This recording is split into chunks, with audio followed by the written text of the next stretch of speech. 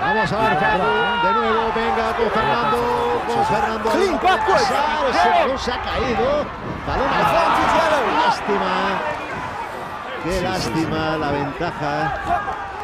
Una magnífica situación, una magnífica oportunidad que You have clearly thrown the no ha podido aprovechar el 15 de León. No Después de varias fases. Knock on. De la Melé, delantera del Melé País. para Rumanía. No, Melé para España, está indicando. Me ve para España, vamos a ver, había habido un avance previo quizás. Sí, sí, sí, sí.